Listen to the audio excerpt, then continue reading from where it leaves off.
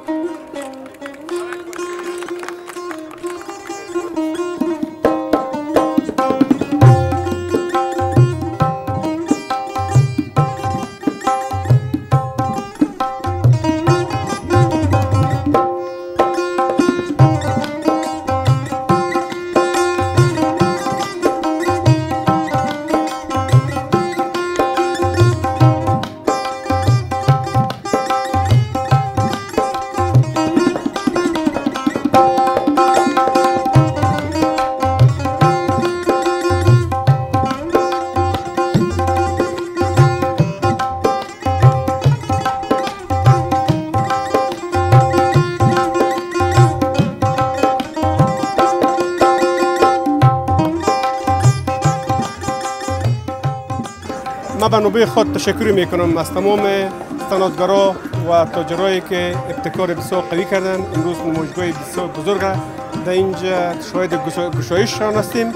این نماینگر پیشرفت در هرات و در افغانستان نشان میده و تمام تاجرای ملی از حمایت کامل اداره محلی و سطح رهبری خاصا از حمایت جرمابری جمهور جمهوری اسلامی افغانستان برخوردار هستند. و ما این اقدامشان ستایش می‌کنیم و حمایت می‌کنیم. و ما از مردم شریف افغانستان به عنوان یک خدمتگار از اونا خواهش می‌کنم که کوشش کنن که صنعت خود افغانستان رو بخرن تولید خود افغانستان رو بخرن که صنعت ما از بیشتر رشد کنه و از بیشتر